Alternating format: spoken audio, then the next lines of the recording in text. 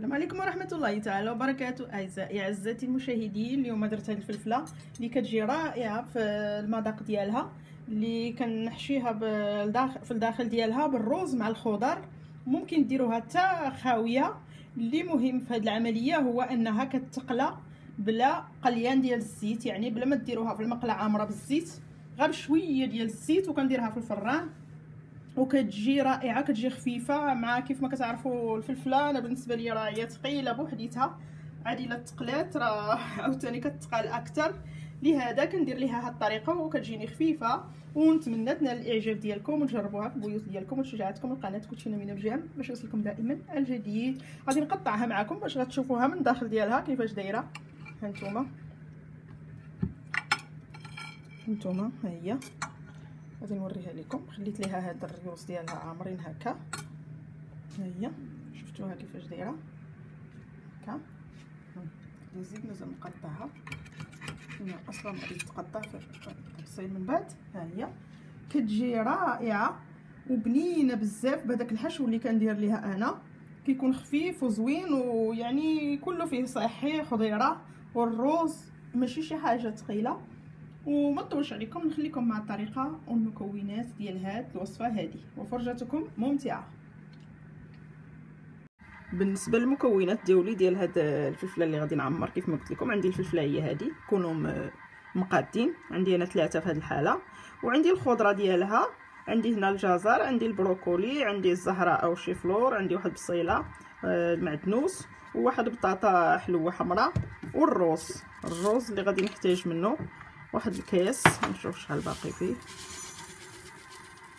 OK. ما بقاش تقريبا كاس نيشان OK صافي غادي نحتاج هاد الروز هو أول حاجة غادي ندير غنخلي هاد الشي جنب. كتجي هائلة وبحال إلا مقلية وهي ما مقلياش هاد هاد الفلفلة. كتجي رائعة بزاف ماشي شوية. وبحال إلا كتاكلوا فيها شوية. عفوا مقلية. كندير هنايا الروز وكندير معاه جوج كيسان ديال الماء كاس ديال الروز بجوج ديال الماء. وكنشعل عليه النار حتى تيشرب هذا الماء كله. ندير معاه شوية ديال الملح شوية ماشي بزاف. هكا. صافي. غنشعل عليه دابا النار وغنوريكم من غادي يشرب هذا النار كله. غادي نخليه ربع ساعة ما غاديش نفوتها ربع ساعة. هنا على بال ما توجد لينا الروز كيتسلق. كناخذ هنايا هذا الخضر كنبدأ بالبصله هي الأولى.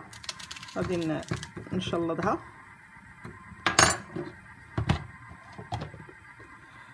كنستعن بهذا الآلة هذه اللي كتسربيني دغيا.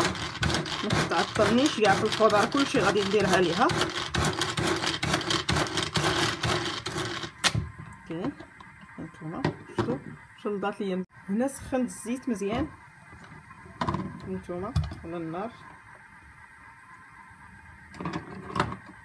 وغادي نوضع فيه هاد البصيله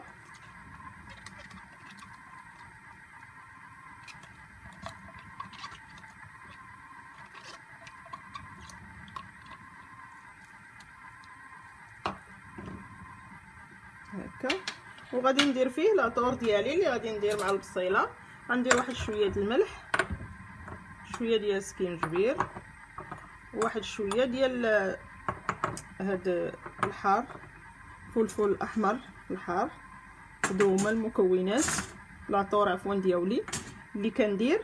صافي ودابا غادي نرجعها على النار. نتوما نوريكم ها هي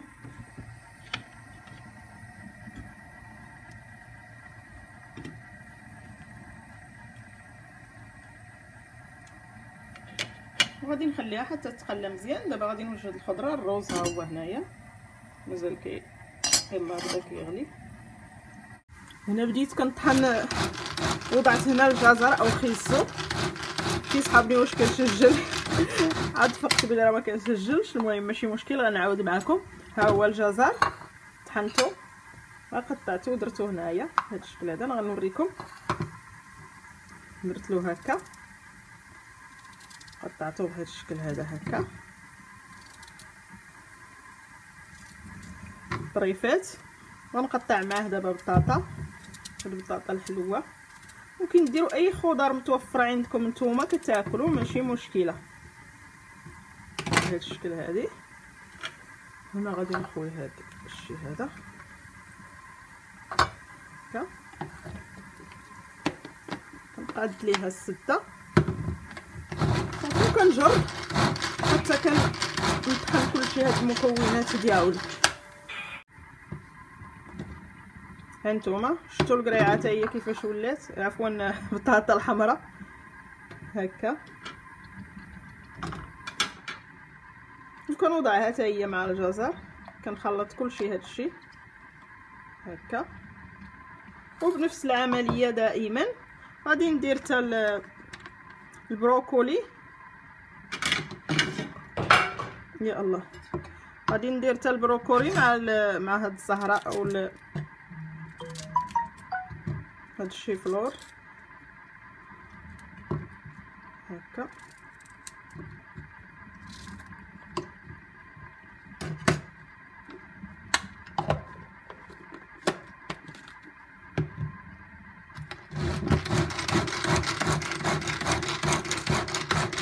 هاد الآلة البنات لا لقيتوها ولا صدفتوا معاها غير شريوها لأنها كتبرد القلب فعلا. والله. هانتو شفتوا كيفاش ولا؟ ولا بحال الكسكسو حيت ما بغيت لا نفورو ولا حتى شي حاجة غادي نطيبو مباشرة. donc غادي نرقو هكا. تيطيب تيجي زوين. تيطلق حتى المذاق ديالو هكا تيبقى زوين. OK.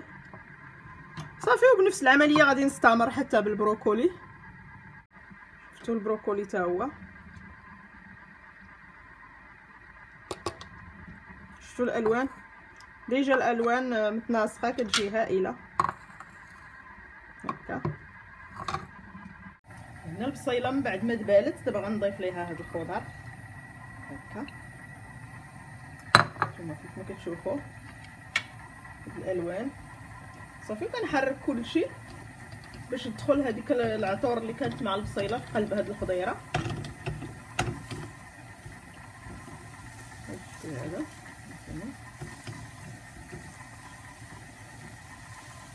نخليوها حتى تدبال شوية. هنا الخضيرة غادي نشوفوها. كنرويها دائما بهذاك الماء اللي كيكون في الغطاية. نحركوها. غنخليها في هذا الكولور. دابا راه هي طايبة بالنسبة لي أنايا. هكا. غاديش نزيدها أكثر باش ما تكحلش وهنا الروز راه هو نشف. ها هو.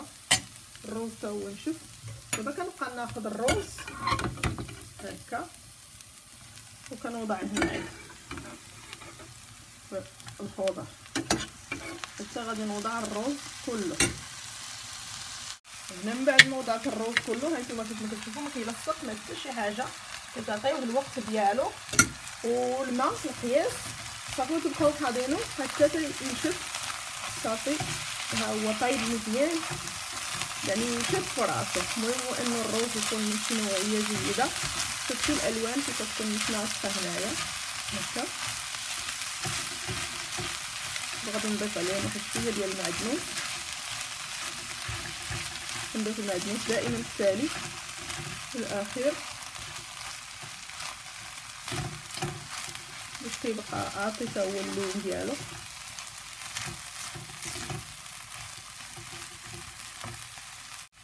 هانتوما بعد ما ضفت المعدنوس دابا كنحرك كلشي صافي دابا غادي نطفي عليها النار باش غادي نستعملها. الحشو ديال الفلفل ديالنا. شفتوا الروز كيبقى شاد راسو كتبقى الحبة صاينة. ممكن تقدموا الروز بهذه الطريقة هذه إلا حبيتوا تاكلوه هكا. يجي تا هو زوين هكا. déjà طايب déjà مشرمل كلشي. هنا من بعد ما وجد الحشو. كيف ما قلت لكم هو هذا. كناخذ الفلفل وكنقطع عليها بحال هكا. هذا الراس ديالها. وكنخويها دابا من هنايا. كنحيد ليها هذا كنحاولوا بلا ما نهرسوها كنحيد ليها هاد الزريعة ديالها هكا. وهاد الزريعة ما كنرميهاش كنخليها حتى تتيبس وكنرميها في شي جردة ولا في شي بلاصة باش كتنبت. هاد الزرارع دائما ديال المطيشه وديال أي زريعة حاولوا ما ترميوهمش. ديروهم في شي طاسة ديال البلاستيك وخليوهم حتى تيبسوا وفين ما كنتو خارجين الجريده ولا تسارا ولا شي حاجة ولوحوهم في الباركو ولا في فين ما كان شي جريدة. وتينبت هاد الشيء حتى هو وتيولي في الطبيعة. وكيستافد الجميع. أوكي؟ هانتوما. هنا من بعد ما خويت الفلفل هانتوما كيف ما كتشوفوا كناخذ دابا الحشو وكنوضع فيها. هكا. وتنوضع. حتى تنعمرها مزيان. تندخل حتى لداخل ديالها. ندخل مزيان حتى تتعمر. باش غادي ندخل كناخذ واحد المغرفة ديال العود هكا. وكندفع بها لأن رقيقة من التحت باش ما نهرسهاش.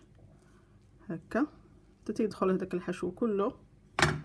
كيف ما كتشوفوا هكا.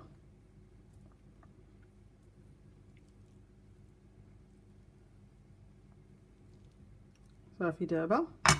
ها هي عمرات. بهذا الشكل هذا. نحطوها هنايا جنب. كناخذ زيت الزيتون هكا ها هي كناخذ واحد المول فاش غادي نوضع؟ كندهنو. هو الأولاني. بهذا الشكل هذا. صافي. من بعد ما دهنت المول كناخذ الفلفل دابا بهذا الشكل هذا. وكنبدا ندهنو حتى هو. هكا. تندهنها كلها مزيان. من الجوانب ديالها كلهم.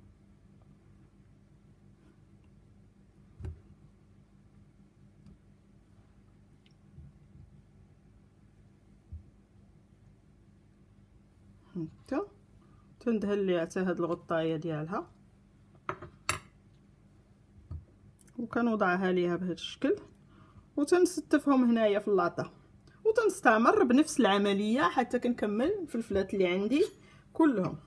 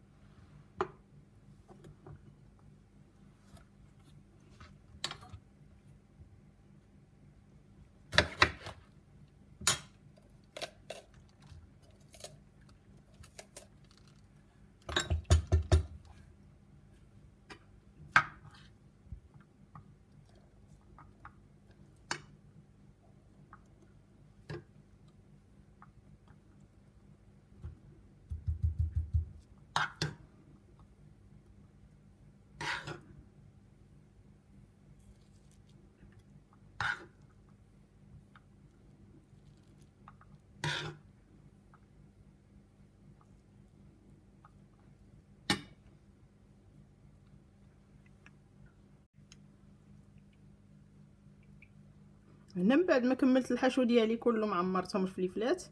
دابا هنايا دهنتهم. هكا. كلهم مزيان.